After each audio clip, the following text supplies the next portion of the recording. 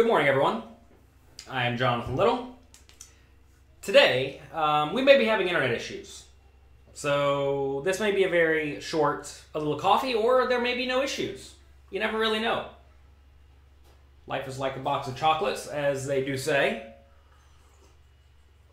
Having a morning coffee, we need it today. Today's going to be a full day of writing. I'm currently in the middle of a big writing project. It's a secret, so I can't talk about it.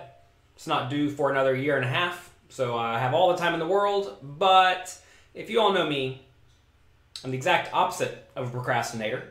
I get everything done way, way, way, way, way, way, way ahead of time. So, we're doing that. As soon as I finish this one, I think it'll take me a week or so. Um, I'm to start working on excelling at online no limit hold'em.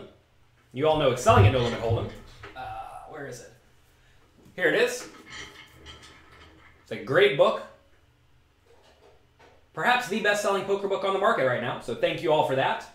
Um, we worked with a lot of good people here, and you all liked this format. So, I'm going to be making an online version with some of the best online players in the world.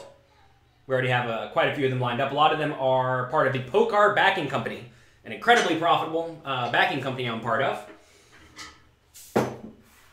And um, we're going to be telling you all about how to beat online poker, but, uh, you know, poker titles on books are a little bit um, deceptive because at the end of the day, it's going to teach you how to play really, really good poker and how to exploit tough players. It's going to be a good book. I'm very excited about it. It's good for me because uh, I get to I get to learn a lot from the best players in the world. So, what more do I want, right?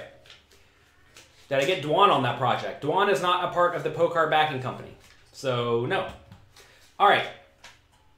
We had a question sent in about tournament structures. What do we look for in a tournament structure? Well, first things first, I don't really care that much. A lot of people really care about tournament structures because they think it significantly matters. Um, let's just go through a little bit of a little bit of text I wrote for you today. So first things first, what are the common tournament structures, right? Well, the the oldest one, the normal one, was a freeze out, freeze out, which is just a regular tournament. You show up, you play, you bust, you lose, you go home. Um, you cannot re-enter. You you're when you're done when you're out of chips, you're done. I like this format a lot. This is my favorite. I am super excited that poker or party poker is going back to that format for all their tournaments um, because it is very very skill intensive and also it keeps a lot of very very good players out of the field multiple times. And you may say well how could you play multiple times? That's what's uh, been making poker tournaments not nearly as profitable for a long time now. The re-entry tournaments. You may say i like re-entry tournaments because if i bust i get to play again. Sure i get it. And interestingly enough all of these tournament structures, or a lot of these tournament structures that have been created, are often quite good for the good players and quite bad for the bad players. And bad players don't realize that. Um, take a look at the average field at the end of a freeze out, right? Or the average field in a freeze out. Let's say there are a thousand people. There may be 300 good players, 700 bad players. Okay? Now let's look at a re-entry tournament, which is what the vast majority of tournaments are today. If you look at that field, it may be twice as big, 2,000 people, but it will instead be a 1,000 good players and a 1,000 bad players. So instead of being 300 good players, 700 bad players, it's now 1,000 good players and 1,000 bad players. And that's because the good players are willing to re-enter as much as they can, as much as they need to, because they know every time they buy in, they're going to have a positive expectation, right? And they should re-enter a lot. Recreational players should not re-enter, to be fair. If, if they care about money, recreational players should not play, which a lot of people they, they, they get up in arms about that. Don't tell me what to do with my money. I'm just trying to give you advice to help you not lose your money, right? If you are a losing player, you should not be playing. You should be playing in softer games. If you're going to play though, and you want to play a tournament, it should not be the re-entry tournaments because re-entry tournaments highly favor the pros. Man, I can't talk today. I have a little coffee. Everyone asks in the morning, where's Mr. James? Mr. James has breakfast exactly at 9 a.m. every day. He's on a great schedule, and we don't mess that up for anything. Um, so, what is what have reentry tournaments done? Well, they've made the return on, investment of bad players go down, and they made the return on investment for good players go down. And if you go back to that initial field size we talked about earlier, 300 good players versus 700 bad players, good players to have a nice return on investment. If it's a 1,000 and a 1,000 instead, good players are going to have way less return on investment because there's more bad players' money to chop up, right? Um, that's essentially what happens in tournaments. Uh, that's how you can figure out a rough ROI. Is you can figure out the average losing ROI of a bad player. Obviously, there are various degrees, and then you divide that by the ROI by the uh, good players left. So let's say you're playing a sit and go, a 10 handed tournament, and there are two bad players who you think have minus 50% ROI each, which is pretty hard to do, but let's pretend like they have that. In that scenario, if all the other good players are equally good, which will not be true, but if they are all equally good, they will be chopping up two one whole starting stack, right? Minus 50% ROI times two is one starting stack, minus the rake, which may be one whole starting stack. In that scenario, everyone breaks even. If there was no rake, eight players would chop up one starting stack, which would give them uh, what? 12.5% ROI. Okay? That's how you can easily figure out return on investments. And like I said, all bad players are not equally bad, all good players are not equally good. There may be one really good player who gets like half of that whole return on investment. Or um, maybe one of the bad players is only like minus 10% ROI, which is often what happens at sit and goes. They'll be everyone very, very close to even, and at the end of the day, no one really wins. They all essentially just lose the rake. Um, so, in big tournaments, same thing, right? Say it's a re-entry tournament. Um, if there are 1,000 good players and 1,000 bad players, as opposed to 300 good players and 700 bad players, the good players are chopping up fewer stacks.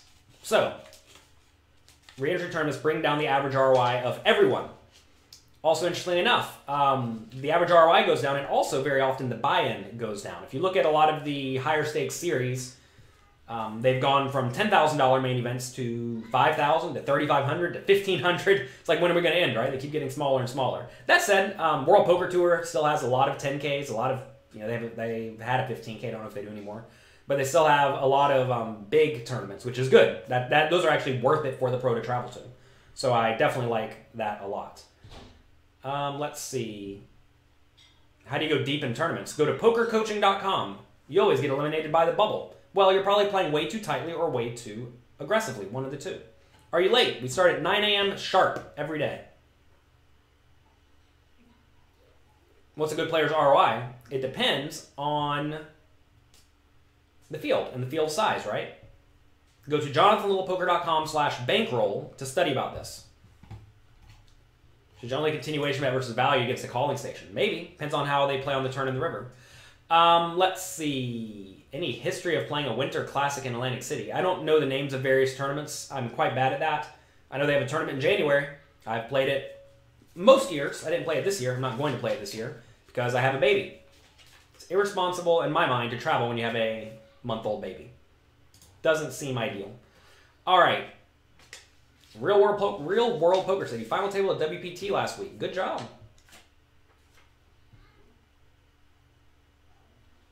Rory says the tips are amazing. I'm glad to hear that. Would you call it 100,000 chip pot? First off, Andrew, this is an awful question. Awful, awful question.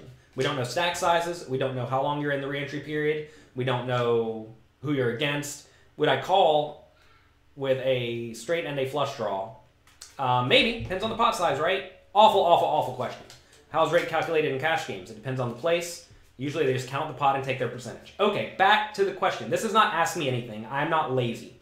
Um, maybe you all don't know, don't understand my view on ask me anything. I think ask me anythings are for people who roll out of bed, think, uh, I don't really want to create any good content. I just want to blabber on about whatever people want to hear. To be fair, that that's more than you get from most people. So I guess if you're people are doing nothing or an ask me anything, it's nice and easy. But um, ask me anythings are not what we do here very often.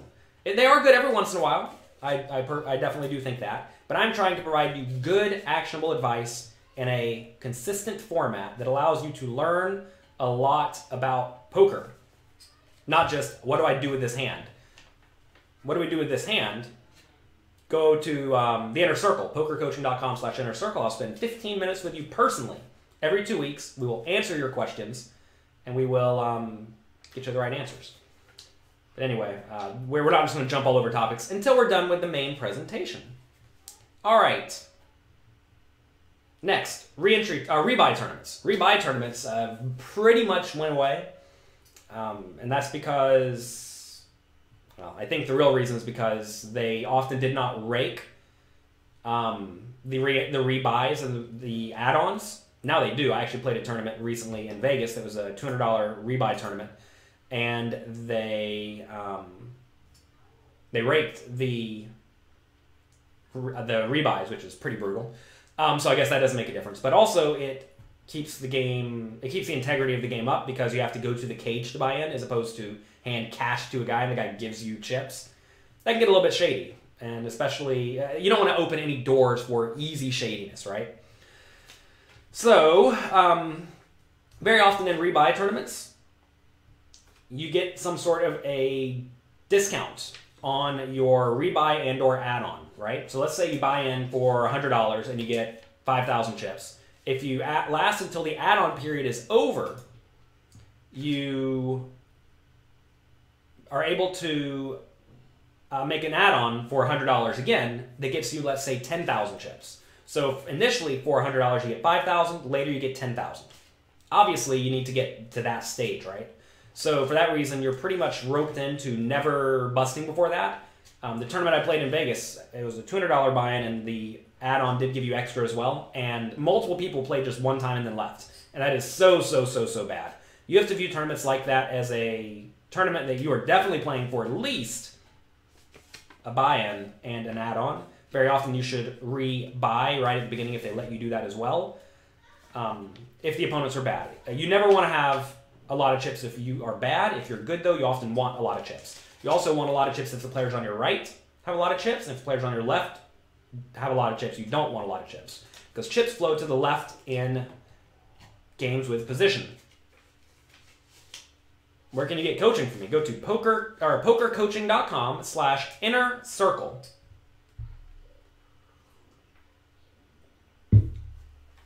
Everyone thinks this is an Ask Me Anything. Why does everyone think this is an Ask Me Anything? I so don't understand. The title is not Ask Me Anything today. The title is Tournament Structures. Okay, next. Um, re-entry tournaments, yeah. Or, sorry, rebuy tournaments. View them as if you play a hundred dollar rebuy tournament with the add-on, et cetera, et cetera. You are playing a 300, maybe five hundred dollar tournament, and you need to realize that this is not a hundred dollar tournament. Um, so a hundred dollar bankroll is not going to cut it. Gregory Bow almost almost got the URL right. You spell my name J O N E, or actually you got it completely wrong. It's pokercoaching.com slash inner circle. Let's see. You're enjoying the course. You bought it for your wife. Awesome. I'm glad glad you're enjoying it. Hope it's beneficial. All right, next we have bounty tournaments. Recreational players love bounty tournaments because you get to bust a guy. And when, whenever you bust someone in a bounty tournament, you get money. Now, first things first, how much is a bounty worth in terms of chips? One second, I'm just reading something about range tournaments. Don't rebuys go into the prize pool? Of course they do. Should you always add on? Only the only time you don't want to add on is if you have like a boatload of chips, like your chip leader by a mile. Um, rebuys turn into crapshoots. It depends on how long you can re-enter for, right? All right, bounty tournaments.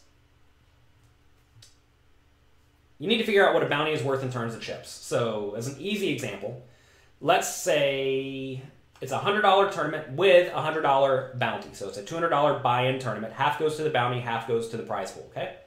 Let's say for that they give you 10,000 starting chips and a bounty chip, okay? What you do is you take the stacks and you put them into equal piles because there are two $200 go in. One half of it is uh, the bounty money. The other half is the tournament chips. So if you get 10,000 chips, a bounty, when you collect it, can collect it, is also worth 10,000 chips. So now let's make it um, a little bit more complicated. Let's say it's a $100 bounty, a $100 tournament with a $10 bounty. So let's say it's a 100 plus 10, so it's a $110 tournament plus whatever the rake is. Um, now you make 10 piles but 10 piles plus the bounty chip because you have 10 to 1, right? 10 to 1 buy in to bounty ratio. So let's say they give you 10,000 chips now. A bounty is worth uh, one eleventh of that because you have eleven piles, right? You have ten thousand chip piles, and then you have the one bounty chip. So now it's um, one eleventh of ten thousand, which is I don't know nine thousand one hundred or, or nine nine hundred eleven. So in that spot, that's how much a bounty is worth. Very important you realize this. Very important you understand how um, how much the bounty chip is worth because sometimes it's worth a lot, sometimes it's worth not a lot. All right. Um, so there are also tournaments called progressive knockout tournaments, especially online. Um, you have to figure out how much bounty is worth there. It's often kind of complicated to do on the fly, but uh, my friend Rob Tinian has a site, Max Value, max-value.com, and they have a bounty calculator there for, well, all bounty tournaments, but for progressive tournaments is actually really, really useful. So bounty tournaments are particularly awful for good players because the um, the payouts are distributed among everyone else, right? When the payouts are distributed among everyone else, in a game where pros actually want it to be winner take all, because the pros is going to win more than everybody else, then that's good for the recreational players, bad for the pros. But you see a lot of pros still playing these games. You may ask why. And the reason for that is because very often the recreational players make pretty big blunders when it comes to dealing with. Um, let's see, one second. When it comes to dealing with um,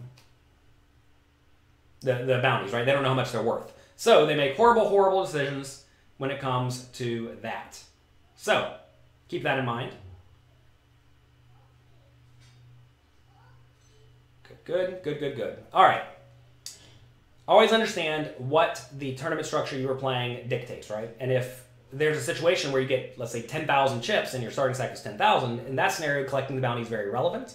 If you get 900 chips, it doesn't actually matter that much, right?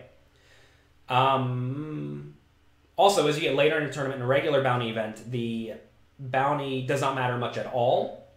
And again, a lot of recreational players are really trying to collect that bounty, which is a big problem. Let's see. Next, um, satellite tournaments. Satellite tournaments are particularly terrible for good players. And that's because now, whenever you win, you don't get to win very often, right? I mean, whenever you win, you don't actually get much money. You get very, very little, very few, very, very few buy-ins when you win, and also, oh, there we go. Um, Sorry, I'm being being distracted by by nonsense. Um, yeah, satellites. The way they work is instead of there being a winner, right, who gets a lot of buy-ins, everyone gets ten buy-ins or five buy-ins, something like that. And when there are when, when that is the maximum return on investment you can get, inevitably, you're not going to have that high of a potential return on investment. So satellites are quite good for players who are not good and they're quite good for players, or quite bad for players who are good, quite good for players who are not so good, assuming they know how to adjust their strategy appropriately. Um, the big problem with satellites in general is that a lot of players who are good at satellites think they're good at poker or think they're good at tournaments in general, and they're completely different structures, right? In a regular tournament, you're trying to win the tournament. In a um, satellite, you're, you're not trying to win the tournament. You're actively trying to not win the tournament. There's a chapter in um, Excelling at No Limit Hold'em by Bernard Lee on satellites. Definitely check that out if you want to play them. There are also things called survivor tournaments that are exactly the same thing. Um, are these similar to double or nothing sit and goes? Um, yeah. Except for in double or nothing sit and goes, you only have to get through half of the field, so it's even more. Um, your, your return on investment is going to be even lower in those. Also, you're going to find that whenever the structure gets easier to play, meaning just get in the top half of the field or just get in the top 10% of the field, that's the optimal strategy for that game is often quite easy. And if the optimal strategy is quite easy to learn, then ROI should also be low, right? Because it's not hard to figure out the right play. So that's always a bit of an issue. Now let's talk about what do pros want. Now, this is going to assume time does not matter, okay? If time does matter, then pros are going to want something different. But assuming you are going to a place to play a poker tournament, you don't really care how long it takes. Pros want slow structures that allow for lots of hands to be played. Someone, I think the person who asked this question said, How long do the blinds levels need to be? And that actually is not so relevant, right? Let's say they give you a million chips. Um, say they give you a million chips and the blinds start at 510 and they go up every five minutes, but they go 510, 1020, 1025, 2550. You know, it goes up rather slowly. Well, that's great, right? You can even, the, then the blind levels go up every five minutes, right? If the blinds go up every five minutes, doesn't matter if they give you infinite chips. Um, let's say they don't give you very many chips. Say they start with 100 big blinds, but the blind levels go up every four hours. Well, then, um, it's like it's the same thing, right? It's a super slow structure. So in those scenarios, that's going to be quite good for the pros because they have a lot of time to extract value. Sort of like whenever you're playing a cash game where the blinds don't go up. If you're a good cash game player, your um, graph, your, your profit, is going to go pretty much consistently up over the long term. Let's see. Ideally, pros want very top heavy structures, which is also something that has killed ROIs across the board. If you look at a lot of tournaments now, they have flattened the payout structure significantly. Back in the day, um, they paid out like 8% or 10% of the field. Actually, before I started playing poker, they paid the final table. That was it. Um, so imagine you're playing a 500 person tournament and they only pay the final table. Well, uh, that's incredibly top heavy, right? And that's really good for the pros. And this is how a lot of the best, uh, the big names were created before the moneymaker boom, because these players actually won like all of the money because they'd be playing a 500 person tournament and only top nine would get paid. And, you know, if, if you're getting humongous paydays whenever you win, it, it drastically change, changes the structure. But ideally, pros want winner take all tournaments, which you don't see. But that is what a pro would like because they are going to take first place way more often than everyone else. They do not want a very flat payout. Flat payouts are great for recreational players because they get to cash more often, right? When you cash, you feel like you've won, and if you feel like you've won, then um, well, that's good.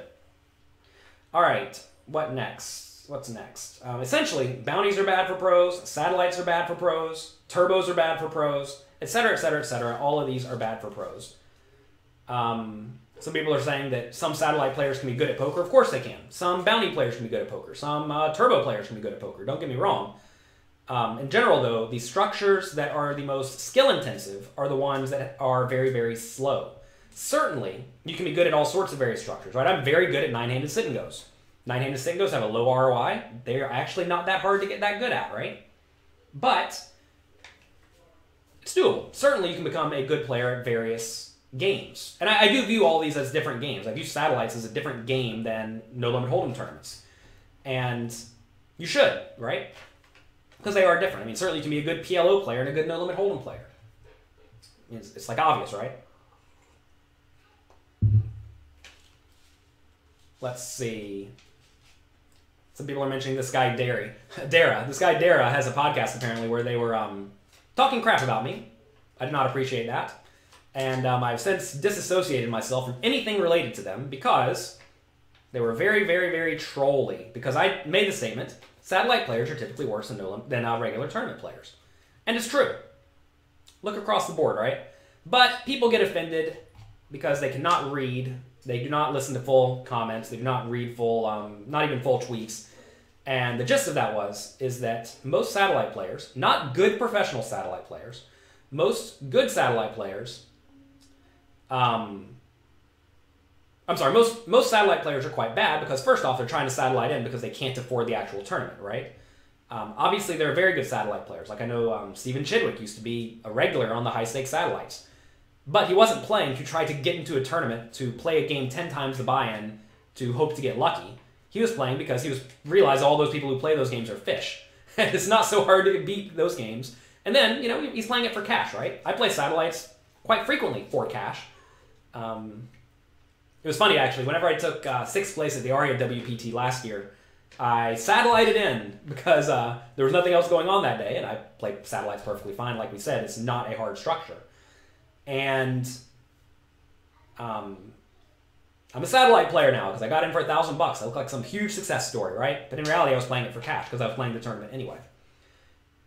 Do I need you to handle my light, my your lighting? I have one big light above my head. We're not a fancy planet, fancy pants YouTube uh, person yet. We'll get there one day. We're in a little closet for those who don't know. It's a nice little closet, but it is a little closet. It definitely could use some lighting work, but it already gets hot in here as is. Blinds go up so fast they turn into shove fasts. Again, blinds going up fast does not matter.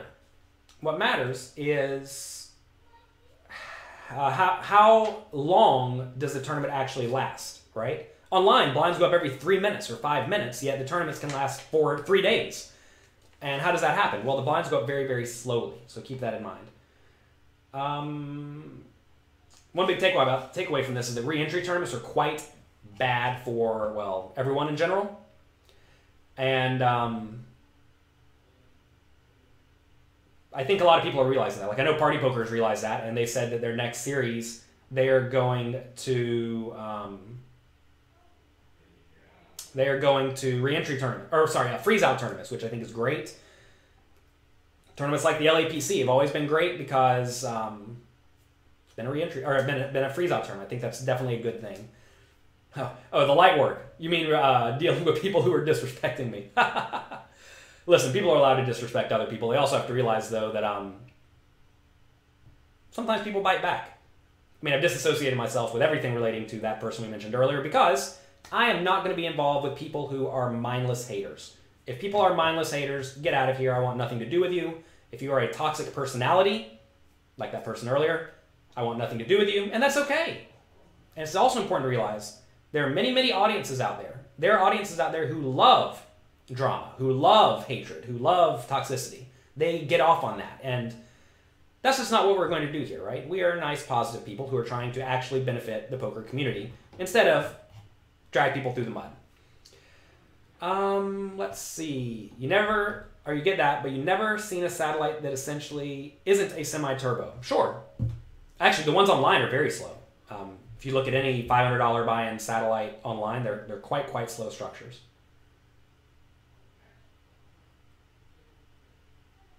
World Series announced this year the stack sizes are bigger, but no structure. no structure there. Yeah, it's funny. Your casino does rebuys for a very long time. Yeah, rebuy tournaments are interesting, right? Um, when determining when or re-entry tournaments are interesting because if you if you ask yourself how many big blinds do you get whenever you enter or re-enter at the last minute. In some places, like I know Bellagio does this, it's something like 15 big blinds or sometimes eight big blinds. Eight big blinds is not a lot, and you're not going to have much of an edge at all if you buy in with that stack size. I've talked with a lot of the best best players in the world, best pros, best players slash best pros, and they essentially said that with something like 15 big blinds or shorter, you probably shouldn't be re-entering if everyone's good. With um, more than that, it's just always fine, assuming the field is not very, very tough. Obviously, as the field is softer and softer, you can re-enter with a shorter stack if you expect to have an edge. It is important to realize, though, that your ROI on that very shallow stack will be very, very, very low, right? And that's because you're starting off with 15 big blinds. You just can't have a big return on investment with a 15 big blind stack. Uncle Eddie in the house. Good morning, Uncle Eddie. Thomas said you're a satellite player. You have 500% ROI in satellites. Uh, that may be a little bit optimistic. And 12% in tournaments. Example proven. I mean, listen, it's important to realize that any individual example does not prove anything. But um, you can definitely make broad generalizations. It's like saying pot limit Omaha players are worse at no limit hold'em tournaments than no limit hold'em players. It's probably just true. Especially limit hold'em players, right? Limit hold'em players are worse at no limit hold'em tournaments than no limit hold'em players. It's like duh. No limit hold'em tournament players are going to be better than almost any other game player at exactly no limit hold'em tournaments. This is common sense. It doesn't take a rocket scientist to figure this out. It just takes listening and being uh, realistic. Let's see. Lots of people at your game wait to the last minute to buy in. Um, some people do that. Some pros will do that, actually. And those pros are often very, very good with shallow stacks, but very, very bad with deep stacks. And they are not egotistical to the point that they are they they overestimate their skills, right? A lot of players assume that they must be good at all buy and or all stack depths, and that's just not true. Especially the online players, because especially back in the day, online poker started with 75 big blinds and then just got shallow very quick. So a lot of players are very very good at um, short stacks, and they realize that, so they buy in late and they shoot their 15 big blind stack in there perfectly, might I add, and they get whatever small ROI they can get out of it. Let's see. The World Series is promising more chips, but don't they have to speed up the structure to compensate for that? It depends, right? It depends on. Um, it depends exactly on what their mindset and their attitude is when approaching the game, right? If they're going to make every tournament last four days, which you know they used to, all tournaments at the World Series used to be two day events. Then they became three day events, and sometimes they're four day events now if they're fine with all tournaments being four day events, maybe five day events, then why not? Also, adding more chips really doesn't make that big of a difference. It, it does make some bit of a difference, but not a ton.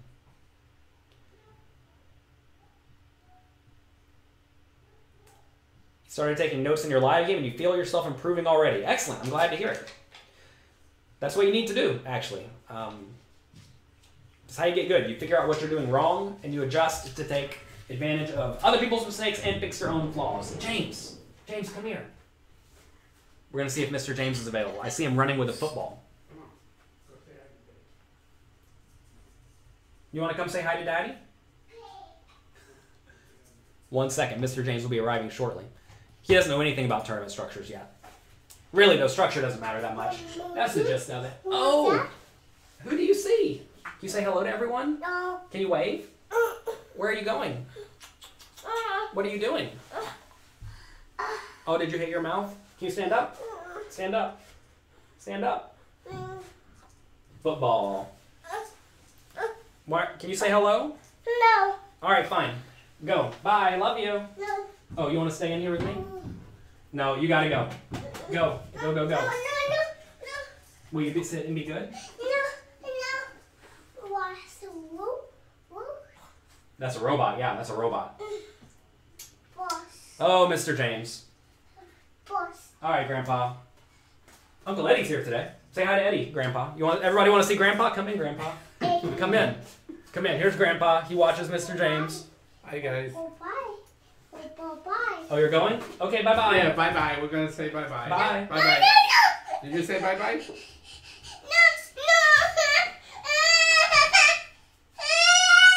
This is what being a papa's all about. Bye. I love you. Oh, what a treat, huh? all right, let's see. He looks like me. Yes, he does. I posted a story on Instagram yesterday of um, me going to the Met, the Metropolitan Museum of Art, Mr. James. It was a lot of fun. It was a nice time. You can find that on my Instagram story. It'll probably expire um, in about two or three hours, so check it out. Came in ninth in a small tournament. Nice job. My tournament cheat sheet helped. Great. Glad to hear it. How's living with kids in New York? Perfectly fine. Let's see. Your daughter was giving you hell this morning for getting ready for school. Yeah, uh, that's how it works sometimes. Mr. James is too cute. Yes, he is a cute man. Uh, he's developing a bit of a personality. Sometimes it's good, sometimes it's bad. All right. Seems like everyone wanted to ask me anything earlier. I remember one question How do you beat the micro stakes? You play better than your opponents. The easy answer to all poker questions. You play in games that you can beat, and you play a lot in games that you can beat. Everyone seems to want to play a short period of time and get rich quick. And poker is so not a get rich quick game. It looks like a get rich quick game, which is why it's very profitable.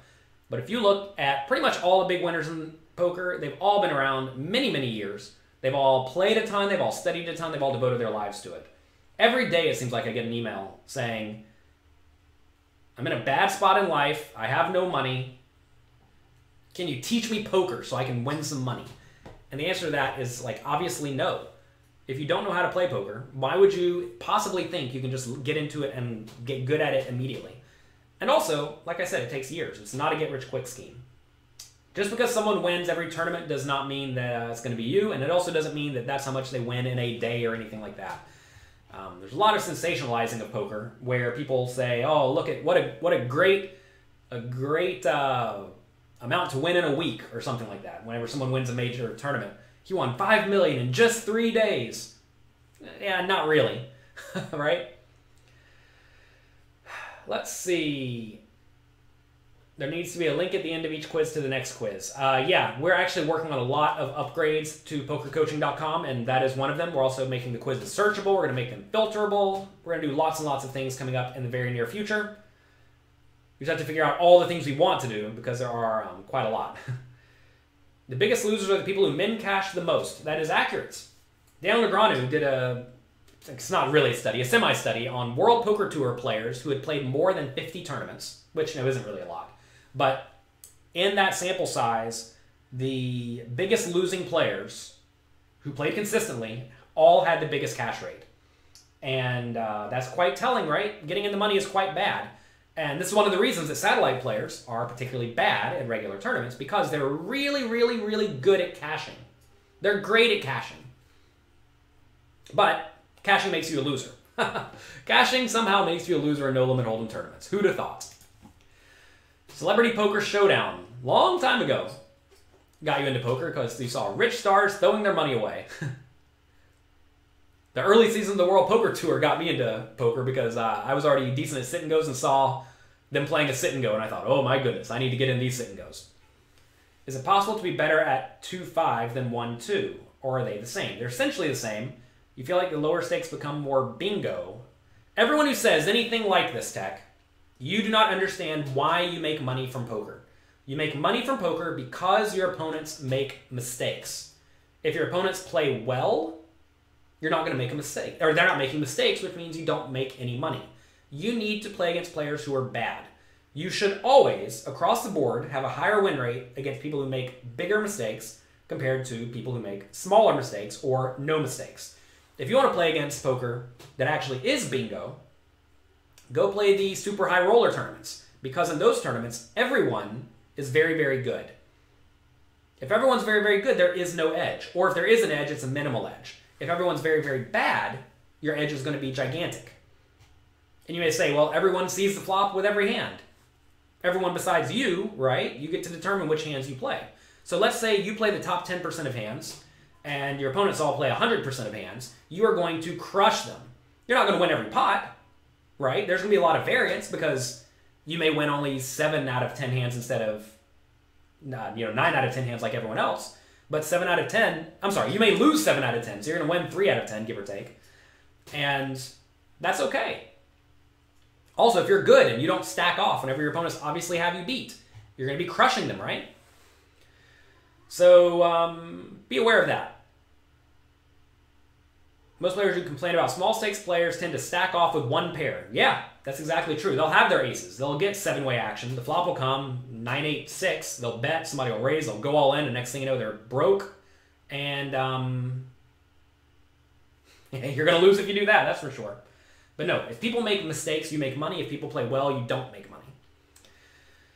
Let's see. It takes at least a year or two to um, find and notice leaks in your own game. Yeah, I mean, you can speed that up by getting a coach. You can speed that up by studying a lot. But you're absolutely right.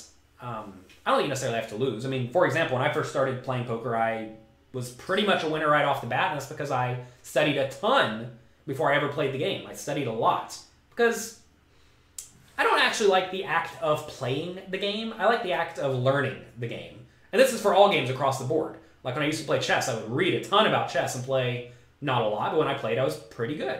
Um, Magic the Gathering, same thing. Like today, I don't even play. I haven't played a game of Magic the Gathering in like a year. Yet I still watch lots of content and read lots of strategy articles because I like the learning process of the game. The actual going through the motions is not that interesting to me. Like that's the most that's the least interesting part of games to me. Um, I'm working on a book with Michael Acevedo, Modern Poker Theory, that's almost finished, and he didn't play much poker for the last two years, yet he studied the game extensively. He likes learning the game. He just now started playing again, and he's winning every tournament he plays. It's pretty insane because he studied a ton, right? Let's see.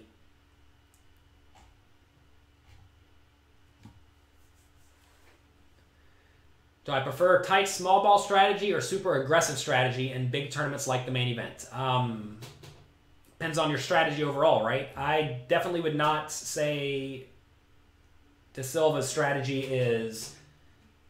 It is super aggressive, but it's not like it's super aggressive for all the money all the time. It's important to realize that aggressive does not translate to big pots. It will inevitably lead to more big pots. But imagine, would you rather play one hand per orbit with a big edge or seven hands per orbit with a small edge? You'd much rather the seven hands per orbit strategy. Should be more aggressive early in tournaments? Um, you should be playing lots of pots early in the tournament. You met my friend Al over the weekend. He's a nice guy. He is a very nice guy. Thanks to Al Hart, he made the push fold app that we have. He made the range analyzer. He's done a lot of great work for us, and I, I definitely appreciate Al.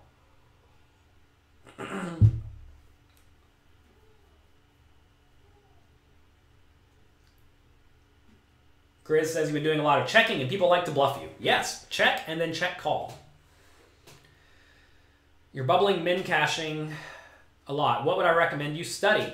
Study at pokercoaching.com. That will teach you to not have small stacks going towards the bubble. You tighten up too much and you're often shallow stacked. Exactly. You, Aaron, are playing the satellite structure that, or satellite strategy we've been discussing. This is why people who play satellites fail, and it's why a lot of people fail in tournaments because they get to the money bubble without a whole lot of chips. They highly prioritize getting in the money and not necessarily even getting in the money, but not going broke.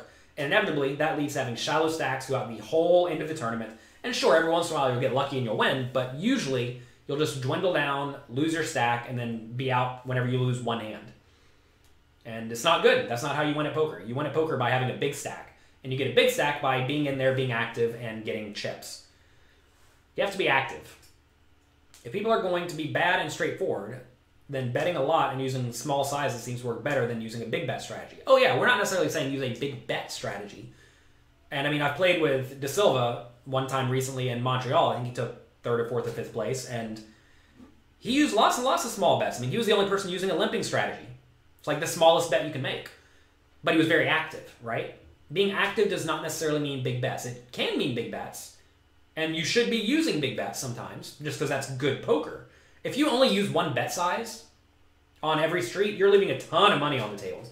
I mean, this is easily provable by using a, a game theory optimal solver, right? You're going to see if you plug in five different bet sizes, the solver will pick all five of those bet sizes because you need to have a spread of bets for each type of hand. You put much into live reads when playing. Against bad players, I certainly do. If people give off obvious tells, then uh, you should certainly be using them. At high stakes games, though, they're pretty much irrelevant, or close enough to irrelevant. If someone offers you five big blinds for your seat in a cash game to trade seats, would you take it every time? Oh, absolutely not. Um, some seats are great, some seats are terrible. Also, depends on if you're going to leave, all right? If you're about to leave, if someone gives you five big blinds to take your seat, think of the value, right? Uh, but yeah, Aaron, go go uh, sign up to the free trial at pokercoaching.com. By the way, we made it to where you don't have to have a credit card for that anymore. So, you, or PayPal or anything, you just go sign up, you get access immediately. Um, we limited it a bit, so you can't just go through all our quizzes and then be done with me. But you can go there and you can sign up completely for free, give it a try, and you'll see how I and Matt Affleck and Alex Fitzgerald discuss building a stack so you actually have a good chance to win the tournaments. How do you say active when card dead? Oh, well, luckily for you, I have an article on this. It's called How to Thrive When Card Dead. Or is that an article or video? Hmm, that's a video series. How to Thrive When Card Dead. Go look it up. Basically, take every potential spot they give you. You are probably not seeing all the spots that have been presented because, um, well, let's say they fold to the cutoff and you have queen three offsuit in the small blind. Say cutoff raises. That's a spot where you definitely can three bet. Most people don't three bet that queen three offsuit. But if you've been very card dead, that's a pretty reasonable hand to three bet. Ace X offsuit, King X offsuit, these are great to three bet, even from out of position. If you know your opponent is opening slightly wide and will fold to your three bet, obviously use a big sizing. They make it um, two and a half big blinds, you make it nine or ten. And um, then you'd be willing to play well. Greer says you're up ten thousand dollars this year because of my material. Good job, good work. I mean, you're you're up ten thousand dollars because you put in the hard work to get good at the game, and I'm glad that I could help along the way. But People get good and they succeed at poker because they want to get good and succeed at poker. They are good at finding the right resources. It's a very important skill. And they put in the time to do it, right? If you don't put in the time, if you are very like essentially mindless with your poker content con- consume consummation. What am I doing with my English? If you consume the wrong content, you'll be bad. If you waste your time studying the wrong things, you'll be bad. If you don't put time in at the tables, you'll be bad. And it sounds like Grizz is doing all the right things. So good job and congrats on that. I hope you keep it up. Assuming you want to keep it up, you know? Everyone doesn't necessarily want to keep it up. But if you want to continue grinding it up, it sounds like you are well situated to do that. Let's see. One strategy used in the last tournament you played was Alex Fitzgerald's opening less, targeting people who open a lot and three betting light in position. Yeah, that's exactly right. And you say it worked well. Good. I mean, that's, that's what you should be doing, right? You don't have to be opening a ton of hands, but it is good to be three betting a decent amount, especially against players who are too loose, especially if you also have a relatively tight image. Um, like you just don't you don't have to open all sorts of garbage. I mean, if you look at game theory optimal strategies, they don't open a whole lot of garbage. And um, to be fair, they don't let you do a whole lot of three betting. But if your opponents fold too much pre-flop, let's say the blinds fold too often, yes, you should be raising a lot. If players raise too often, they will fold to three bets too often. So you um, three bet a lot. So that's good. Any plans to visit Ireland? No, I have a baby. I'm not going anywhere anytime soon. Also, I have an article about Travel Rake, and essentially, I travel primarily to play very high stakes tournaments, and that's it because it doesn't make sense financially to travel to smaller tournaments at this point for me. Does my course teach, teach cash games or tournaments? Both. I think a lot of people think tournaments are drastically different than um, cash games, and they're really not until you get to the middle and later stages. The early levels of tournaments are pretty much exactly like cash games, except for you need to be a little bit tighter when it comes to value betting and calling off, because if you lose, you don't get to re enter, but that's really the only difference. Um, tournaments are actually becoming more different than cash games. I will make that statement because now, thanks to the big blind ante, which is popular in pretty much all tournaments now, um, they're putting antes in earlier in the tournament, which means you are essentially playing with an ante throughout the entire tournament now. And uh, ter- poker with an ante is very different than poker without an ante because there's just significantly more money in the pot. So keep that in mind. You can't wait to quit your job and play for a living. Well, keep studying, grind up a bankroll, take it slow, don't be in a rush. If you want to make poker a sustainable thing for you long term, don't be in a rush. Take your time, learn to get good, be very cautious when it comes to taking big risks for lots of your money. Um, it's the exact opposite of what a lot of people do. They want to uh, get rich quick by winning a tournament and then becoming a poker pro. And that is not such a good idea unless you get uh, super, super rich. I'm currently working with um, Scarmaker, who took third place in the um, party poker tournament recently for 1.3 million dollars. It's pretty good third place for 1.3 million. Um, he bought, got in for five dollars through a satellite, won his way into the 5K, took third place in that. He um, credited my teachings for that, so I figured I'd contact him, and we're working together now to get him ready for the World Series of Poker. In that scenario, if you go from having a $5,000 bankroll like he had to a $1.3 million bankroll overnight, well, then, you know, you're pretty much set for life if you are not a fish. And turns out he's not a fish. He's actually smart. He's investing a ton of it. He's going to give himself a relatively small poker bankroll. He's going to try to grind it up. He's going to go to Vegas, play some 1500s and whatnot, but certainly not give away his money. And I'm going to make sure of that because um, I've made plenty of mistakes. Lots of people have made plenty of mistakes. And I want to make sure he does not. Very rarely are you just blessed with uh, 1.3 million dollars, and I'm excited to help him continue progressing. And if he does decide poker is not for him, then I want to make sure that he is very well set up for life so that he can enjoy it and do whatever he wants to do. Uh, it's very different than what a lot of people do. They go to the club and they blast all of it off in two years and they play a few hundred Ks, and next thing you know, they're broke. So, if you ever come into money, don't do that. I actually made a video with Mike Sexton you can find it on YouTube. Um, what's it called?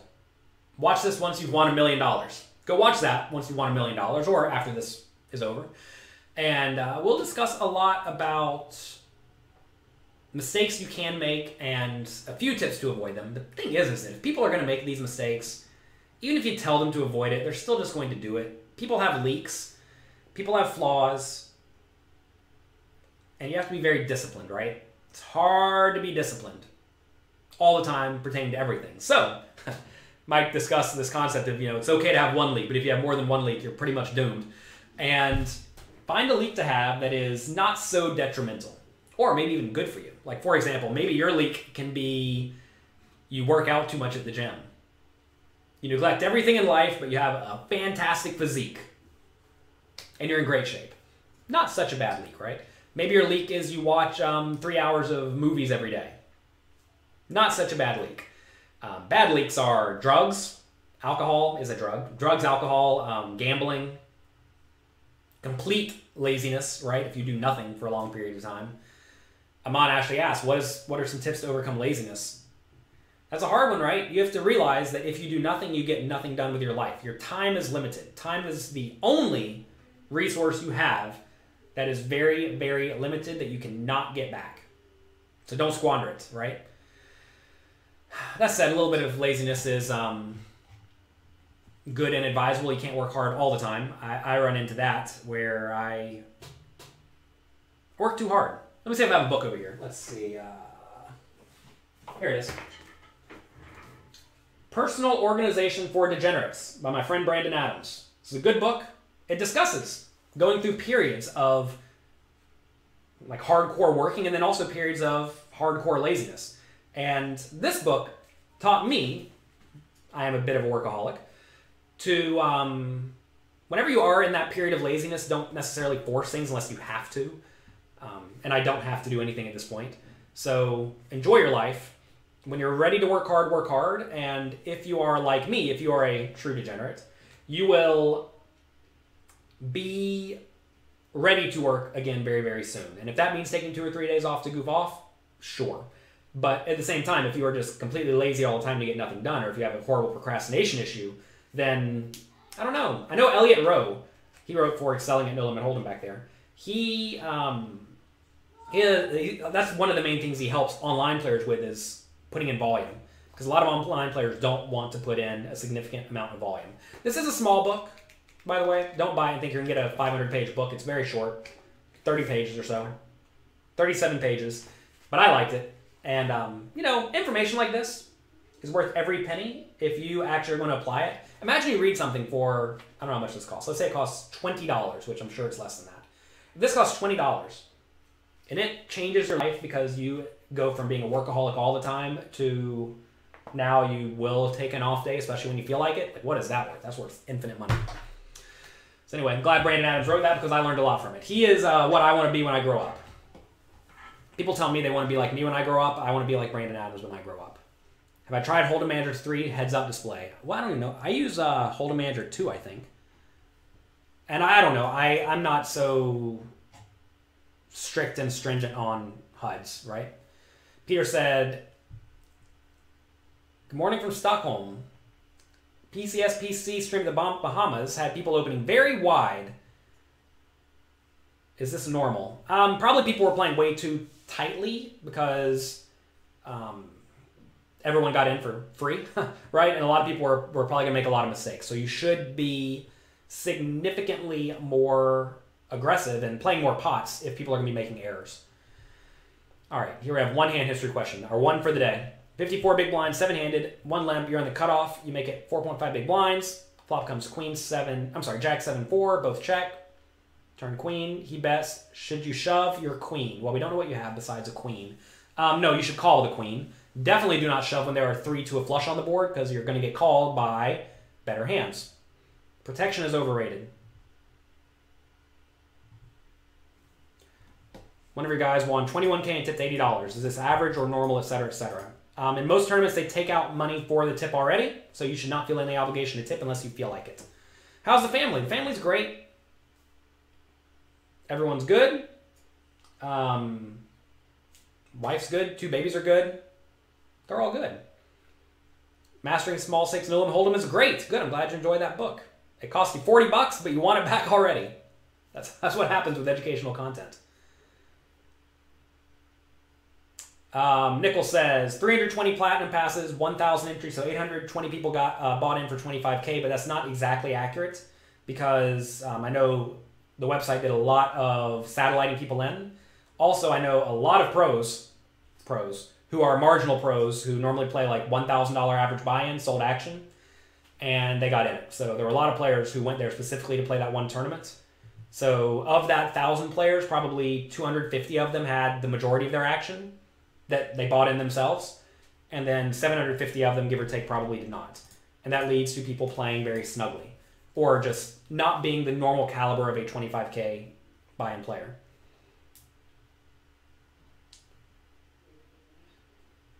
All right, let's see. In the tournament, you did not feel obligated to tip because they took $10 for the dealer add-on. Listen, I mean, tipping is certainly a personal thing. You should never feel obligated to do anything in life.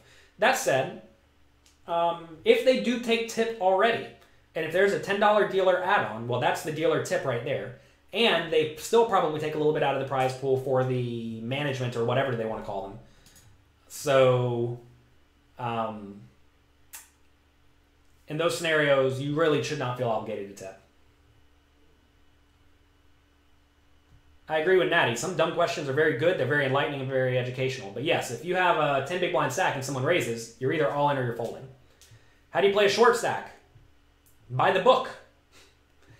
Buy the book. Learn to play by the book. Uh, I actually have an app, the Float the Turn Push Fold app. You can find it Float the Turn Poker in the app stores. It's not optimal for short stacks because you should have a min raising range and a shoving range, not just a shoving range. But playing by that will be way better than what most people do. And William says if they did not take money out of the prize, well, it would be very bad not to tip. I mean, I have a different mindset on this. I think um, people who run a game, people who own a restaurant, etc., etc., should pay their workers a fair wage. And they should not rely on people to do something, especially if it's not very clearly stated. Um, that said, we do live in a society where I think everyone knows to tip, right? I mean, if you go to a, a, lot of countries now, they do not tip. A lot of countries do not let you tip at the poker table. It is illegal. Why? Because it should be obvious, right? You're giving money to the guy who's giving you the cards. Seems as shady as it can be, right? Um, it's not shady, but it seems shady. Could easily be misconstrued as shady. So I think personally you should not be allowed to tip. I think you should have to pay a higher rake. And I think, um, like at restaurants, they should just make the food more expensive. Make the food 15% more expensive. Call it a day. No tipping. You know? That said, tips do lead to better service. Usually. Um, that said, again, if you go to a restaurant and the service is marginal, maybe you tip 15%. If you go and the service is amazing, maybe you tip 20%. Is that amazing service worth only 5% more? I mean, if it was up to me, I would either tip 100% or 0%, or some somewhere in between that spread, with the average being 15%, which means a lot of people are going to be getting 8%. And of course, uh, we don't do that. We just tip everyone to way too much. It's a huge cultural thing. It definitely does. Depends on how much the minimum wage is in the current in that country.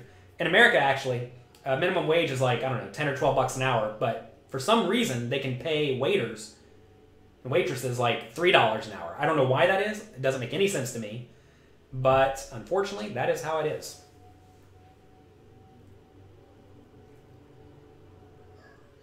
Tipping is corporate America's way of not paying their employees properly and passing that burden to the customers. Yeah, yeah, I, I generally agree with that. In your car room, dealers need tips to survive.